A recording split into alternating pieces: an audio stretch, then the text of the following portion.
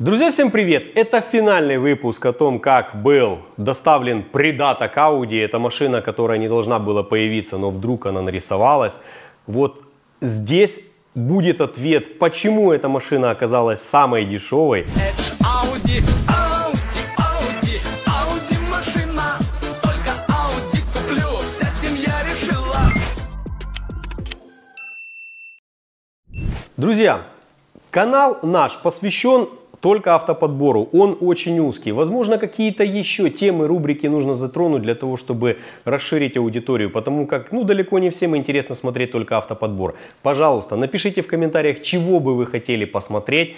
И наверняка на лучшую тему, на лучшую мнение, на лучшее мнение мы заснимем какое-то отдельное видео, отдельный сюжет. И кто знает, возможно, пойдет новая рубрика. Ну, а сейчас погнали по Audi. Очень интересные чуваки на клумбе стоят. Ну, то есть круглый стол и стол переговоров. Такие в разноцветных жилетах.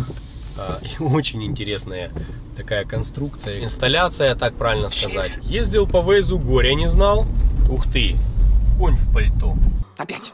Ну почему всегда такая реакция? И, кстати, не один конь в пальто, вот еще есть конь в пальто. Теперь я, теперь я видел много. Вот он конь в пальто. Проезд автомобиля запрещен. Проезд мотоциклов запрещен. Так, а куда же мне ехать? Значит, ведет меня навигатор. Значит, какие-то колхозные сельские поля, какой-то лес. э, Место, где я не могу ездить на автомобиле, но мне пришлось. Впереди стоит знак «Проезд запрещен». У меня осталось на 54 километра заряда. И Google показывает ехать только прямо. Я очень надеюсь, что мне не вырвут кадык за то, что я поехал прямо. Поверните налево. Офигеть, поверните налево. Сюда, в лес, что ли? Да ну нафиг. Да, не богатый выбор. А нет ли тут э, до пляжа 100 метров э, или там кафе направо? В лес мы не поедем.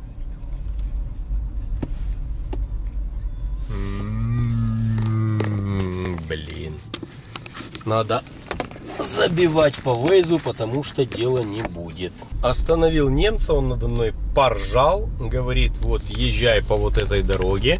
Сейчас, ну, где-то около одной минуты будешь ехать э, прямо, потом повернешь левее, еще раз левее, Т-образный перекресток налево и выйдешь на автобан. Окей, еду.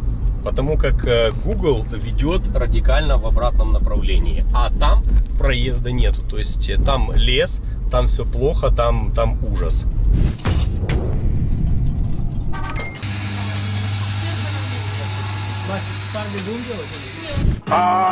Гусь, съесть хочу. Я это вкусная штучка. Он такое большое было сразу, ты не представляешь. Я видел. И лев в руках. например. Там на горе, ой, это Точно спою. Начался рабочий день в Германии, сейчас уже, грубо говоря, практически 9 часов. Поехал я оплачивать Audi и потом, и потом завтра уже, я очень надеюсь, что завтра эти товарищи все успеют и все сделают для того, чтобы подготовить документы. Пока в пути. По Мерседесу сегодня с утра пришел имейл о том, что сегодня ожидайте голубиную почту. То есть, грубо говоря, в четверг оплатили, ну ладно, допустим, в пятницу они увидели денег, в пятницу отправили, в субботу, воскресенье, выходной, и вот, наконец-то, понедельник, сегодня в 11 часов утра должны быть доставлены документы.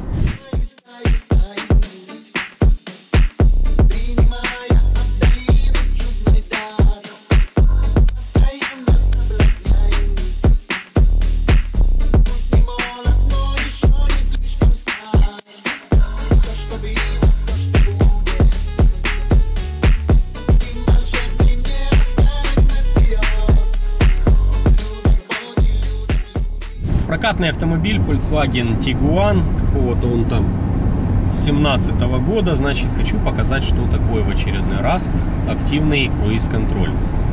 Э, Сейчас скорость ограничения здесь 100 км в час, круиз я поставил на 100.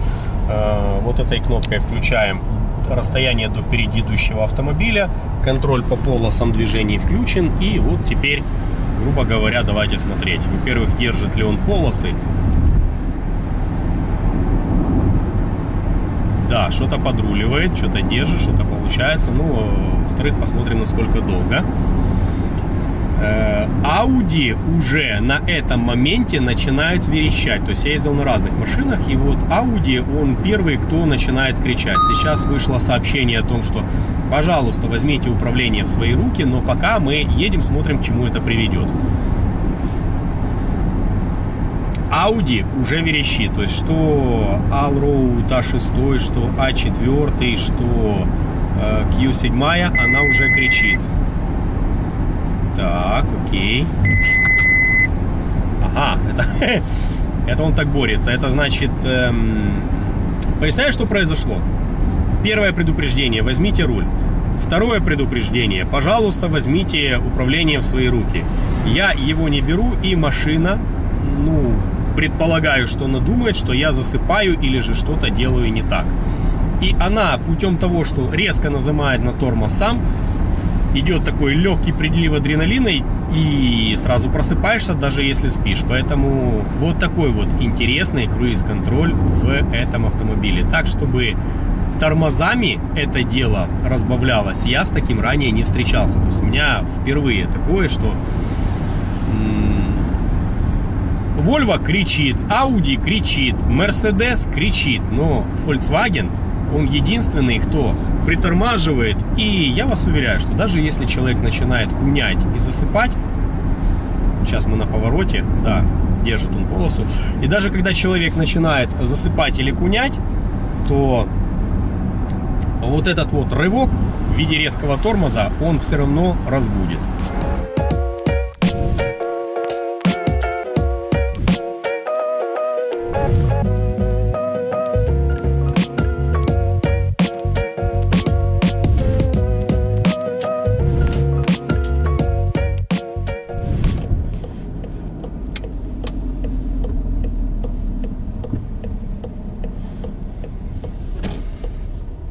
Автомобиль уже приобретен.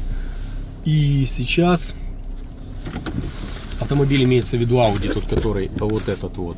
Значит, приобретен он только с целью для того, чтобы мне быстрее вернуться в Украину. Эта машина не для продажи. Я, в принципе, для продажи ничего не гоняю, потому как мы занимаемся только выбором автомобилей. И этот автомобиль я выбрал для одного из своих друзей. Стоимость автомобиля 15 тысяч евро, но... Короче, суть в чем?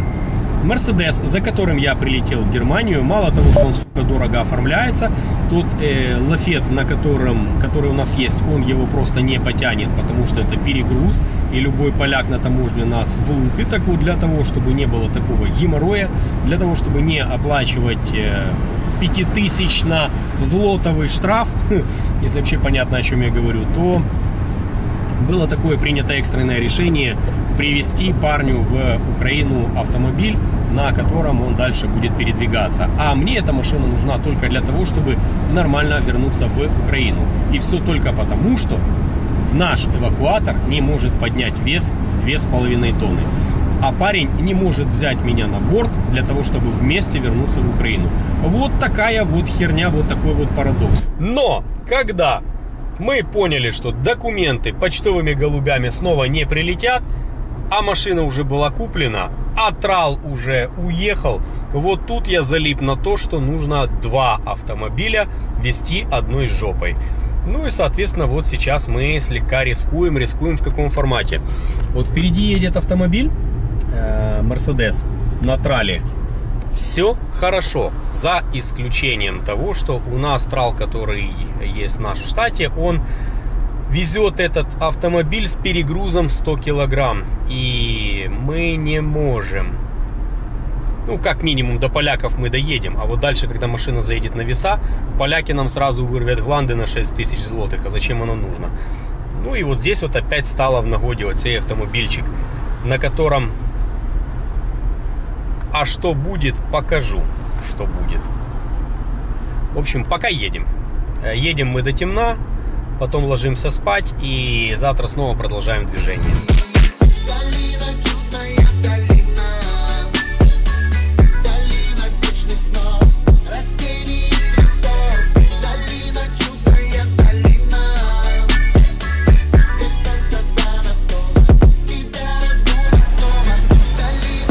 Гоняемся, типа.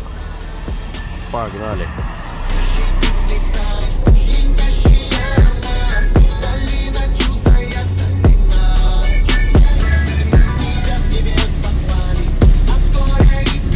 2016 года автомобиль. Он сейчас имеет 204 тысячи километров э, пробега. Потребляет он не так дофига солярки. Ну, как скажем, я, конечно, еду в режиме дальнобойщика. То есть 80, 90, 70. И в таком режиме он потребляет там 5 с легкими копейками солярки. Мы сейчас даже посмотрим, сколько это. 5, 5,2 расход на данный момент средний за последние, наверное, километров 150. Настроение уже классное, настроение уже хорошее, даже пофиг какая будет погода, пофиг какая будет очередь, мы едем домой. Вот это вот чувство, когда хочется домой, уже пошла третья неделя, когда я в Германии, вот так бессмысленно я время давно не проводил. А самое интересное, что вот когда уже машину нашли, и люди начали как-то расчехляться, говорят, ой, а вы в Германии, посмотрите мне, поедьте туда Каен, а, а вот там Q7 и еще что-то. Давай насыпать все на понедельник на день вызову. Не-не-не, ребятки, с радостью, большое спасибо, но целую неделю сидел, особо ничего не делал, и поэтому вот сейчас точно нет, потому что горю по срокам на выдаче автомобиля. Ну ладно, это уже, наверное, другая история. Сейчас едем в сторону родного дома. Польша, рассвет. Вон, солнышко вылазит. Когда все дороги ведут в никуда, настала пора возвращаться домой. Извилистый путь затянулся петлей Когда все дороги ведут в никуда Настала пора возвращаться домой Очередной паркинг, очередная стоянка. Аж сам часок задремал. Ну ничего, стартуем дальше. Хотел бы сказать несколько слов про Audi A6 с трехкилограммовым двигателем в 272 кобылы. Как вы думаете, сколько эта сволочь потребляет на трассе? Для меня тоже было удивлением. Сейчас покажу. 4,3 литра при скорости 100 км в час. 4,3. Вот это вот расход. Вот это просто снимаю шляпу. Красота. Спустя какое-то время расход упал на 4,2. Я, конечно, не думаю, что дойдем до 4 литров, потому что за последнюю тысячу километров был в основном 4,3, иногда 4,4.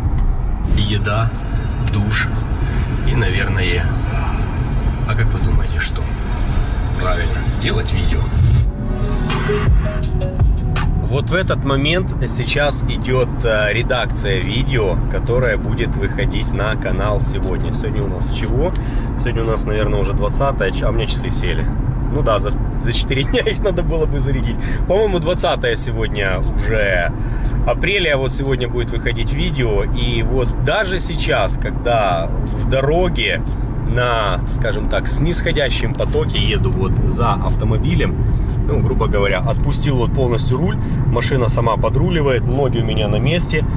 То есть э, вот даже в таком режиме можно пробовать вносить корректировки в э, видео, потому как э, не хватает катастрофически времени для того, чтобы сделать это все нормально. То есть так или иначе, оно все равно завязано на определенной группе людей. И для того, чтобы видео было действительно хорошим, вот приходится его делать, корректировать, собирать. А ситуация, в которой я оказался, но она мне не позволяет этого делать. Поэтому мы исходим из того, что, что мы делаем. А сейчас вот снимается гиперлапс. Гиперлапс это когда много фотографий, сделанные с периодом одну секунду или же там 2 секунды, в зависимости от того, что нужно показать. Оно фотографирует, потом все это дело склеивается и получается такая быстрый проезд. Вот то, что вы видите быстрое, вот это все гиперлапс. Ладно, я смотрю дальше. 70 километров до границы. На дороге пробка. Фиг знает почему. Все встали, все стоим. Вертолет. Он здесь, я не знаю, сколько я езжу, всегда он тут стоит. Ну и сейчас будем перегружать автомобили. Один снимаем, другой ставим.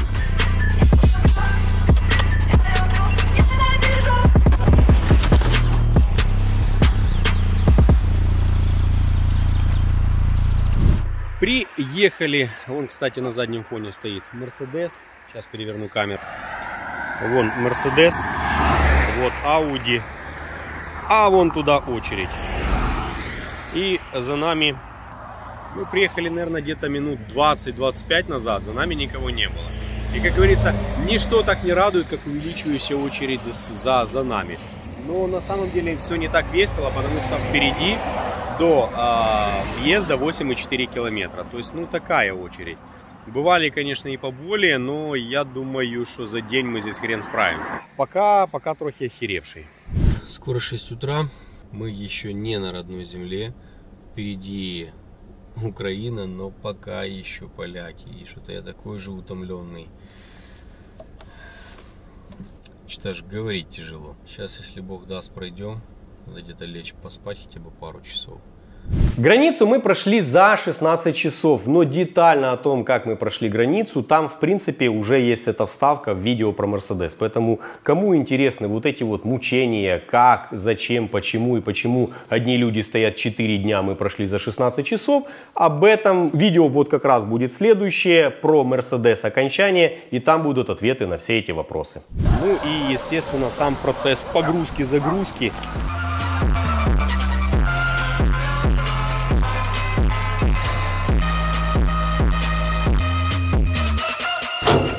Везде классно стало все притирочку. Пока делают сертификаты, ну, в смысле производят, пойду рассчитаюсь, мы пока погрузимся и один спать, второй ехать, а потом наоборот. Как-то так. Так что сегодня мы уже будем в Киеве, может быть даже успеем на таможню закинуть машины, чтобы их растаможили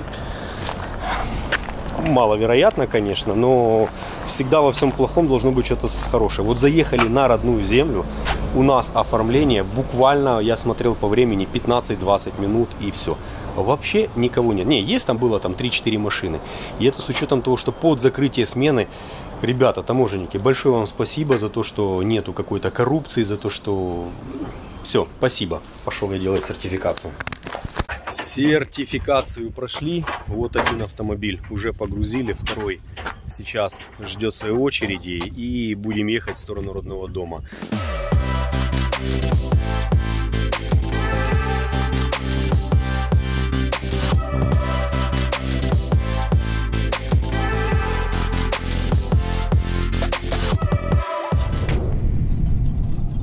Друзья, легкое отступление от видео.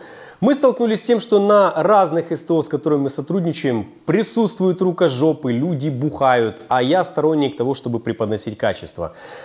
Тот, кто смотрит среди технарей, ребята, среди вас наверняка есть люди, которые отвечают за свои действия, отвечают за свою работу.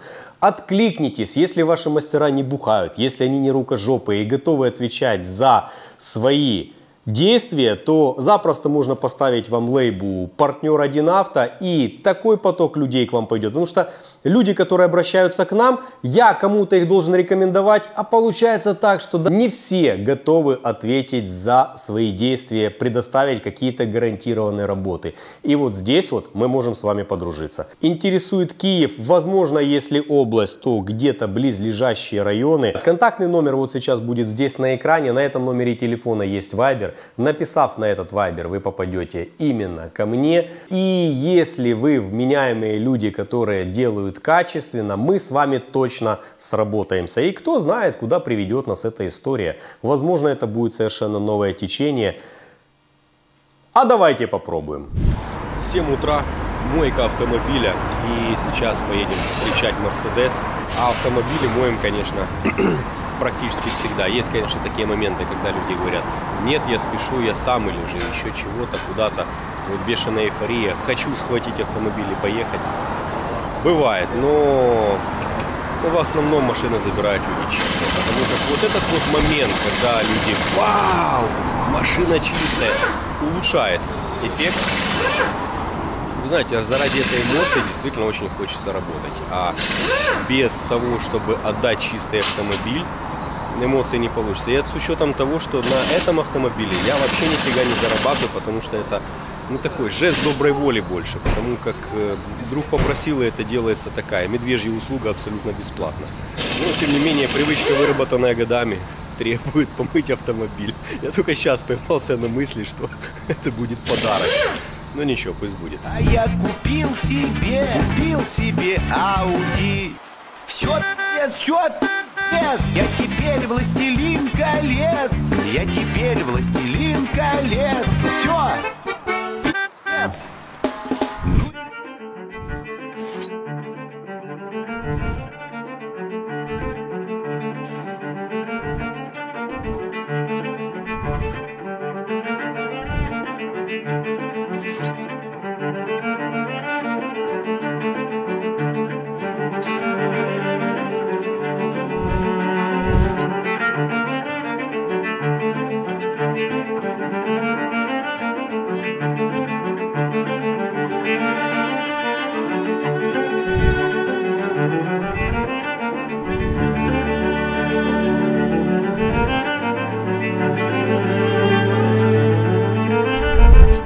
Стояли, общались по телефону, вспомнил о том, что на момент, когда я приезжал э, смотреть Audi, я ехал туда на самокате, и у меня где-то потерялся толщиномер. Ну, наверное, выпался с кармана или еще что-то. Вот, кстати, автомобиль, который не нужно оставлять под ветками деревьев. Получался он такой слегка обгаженный. А, Я к чему это все? За время моего отсутствия я заказал новый толщиномер и, и, и где-то, где-то я его, по-моему, даже с собой взял. Сейчас, секундочку. Profit Line, значит, э, это ни в коем образом не реклама. Такие толщиномеры у большинства наших экспертов. Значит, э, так, чтобы вообще не было никаких рекламных знаков. Э, Чем интересен вот этот толщиномер? Он, во-первых, очень быстро показывает значение, что важно при э, видео, особенно монтаже, когда ты его пикаешь, он думает, потом пилик и выдает значение. Да, оно типа раньше работало долго, то есть первый толщиномер, который я покупал себе, это был, по-моему, еще 2013 год, э, когда я начинал всем этим делом заниматься. Потом он был через года три утерян первый в Литве, я заказал себе точно такой же, потому как у меня э, было положительное понимание того, что это классная штука. Но сейчас такой толщиномер, он морально уже устарел. Поэтому купили вот такую штуку современную. И я его еще не использовал. Сейчас мы будем его использовать э, в первый раз. Интересно, калибровать надо ли он откалиброванный? 154, 158. Довольно, довольно быстро работает. Если вот сейчас в проемах у него будет больше 70 микрон, ну там 70-80, если значения будут больше, то автомобиль имеет двойной окрас. Такое в Audi. Да. 147, 150. Все в значениях. Автомобиль имеет двойной окрас. У меня были подозрения по вот этому крылу, что оно вот здесь вот крашеное. По крайней мере, так было видно под дождем. Ну, сейчас промеряем, просмотрим. 171, 174. Неудобно его держать после того, что у меня был. Как минимум, надо по-другому ставить камеру. 144, 157, 147. А вот капот здесь крашеный. А вот капот здесь крашеный. И я этого не увидел. Ну, крашено хорошо. Так, ладно. 157 стойки.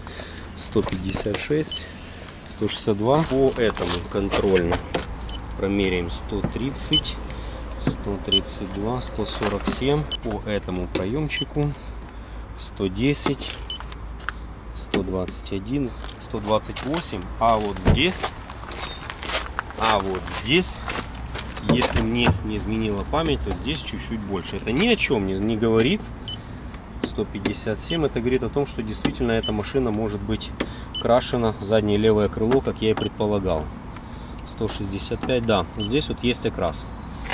Вот здесь.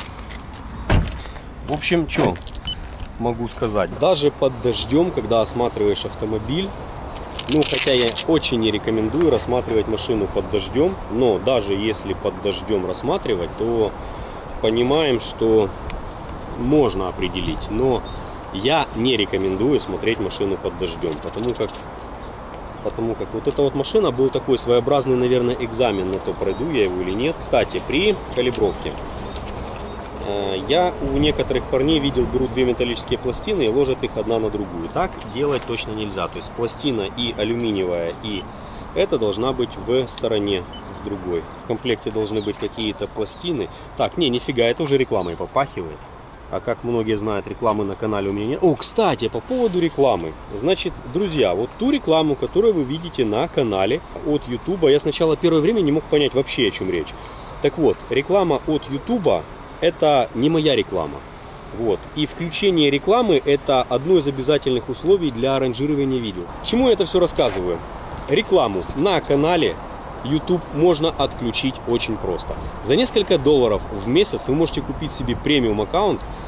Стоит он 2 доллара в месяц на одного человека или же 5 долларов на всю семью. Ну, то есть это семейный аккаунт, 6 человек. Я им пользуюсь уже очень давно. Рекламы я никакой не вижу. Плюс из того, что есть, это э, для тех, кто на обычном YouTube, вот мне недавно показали, я тоже этого не знал. Когда скидываешь окно YouTube, вот допустим на телефоне, видео по монтажу. И вот если его скинуть вниз, то получается вот такое вот окошечко. И можно заходить э, в другое предложение. Вот. э, И еще один офигенный плюс, если есть э, YouTube премиум. Я, кстати, YouTube премиум это тоже не реклама. Реклама на канале у меня была только один раз. Это компания Advisor Auto. И то мы у них заказали автомобиль, мы долго ждали. И потом, э, как знак доброй воли, я сделал им рекламу по YouTube. YouTube Music. Вот, например, если э, в дороге хавает немного бджола такая волосатая пролетела в дороге, оно хавает немного трафика, то есть вот грубо говоря за день, когда едешь, включаешь YouTube Music по Bluetooth в машину, за день, э, грубо говоря, 8 часов выехал и к 10 вечера приехал на таможню, оно схавало 300 мегабайт. 300 мегабайт в роуминге, ну, смотря какой пакет покупать, но это не так дофига, но нормальная музыка. Еще раз объясняю, рекламы у меня нету, эту рекламу запускает сам YouTube. Ну, тут все очень просто. Либо же вы тратите свое время, узнавая про новые товары, либо же вы сразу платите денежку и вам не приходит реклама. И теперь ответ на вопрос, почему же эта Audi была самая дешевая в Германии. Опять-таки, это мое предположение. Значит, когда я в Германии покатался на этом автомобиле, я снова засунул лаунч для того, чтобы считать ошибки. Я увидел, что первый блок э, первая ступень сажевого фильтра, она была наглухо забита, но в чек в ошибку она еще не вываливалась. Я предположил, что это можно сделать по трассе, прожечь фильтр и будет все хорошо. Но у меня не было такого участка, где этот э, фильтр можно прожечь. Я эту ошибку сбросил, она какое-то время не появлялась, но в Украине, когда заправили украинской солярочки, эта штука отрыгнулась заново. И я даю с долей вероятности 85%, что торба именно сажевому фильтру. А учитывая то, что машину я смотрел, история была почищена 10 километров назад, все, вообще абсолютно вся история, которая была от начала до конца, стерта в ноль, и этого нету, и скорее всего именно эта причина стала того, что эта машина оказалась самой дешевой в Германии. Но несмотря на это, даже если сажевый фильтр там кончился, а я предполагаю, что он не кончится сейчас, он кончится через месяц, два, полгода, ему будет жопа. В нашей стране его можно просто вырезать, как многие говорят, кастрировать, дать двигателю дышать, и эта машина будет еще иметь очень долгую, классную, счастливую жизнь. Ну, к сожалению, у нас в государстве не регламентируются законодательством экологические нормы, но это уже другая история. Ребят, большое спасибо за то, что досмотрели это видео до конца. Ну а с вами был Николай Тарануха, Киев, компания Динавто. Всем удачи на дорогах. Всем пока-пока. Ну и надо писать комменты на Mercedes.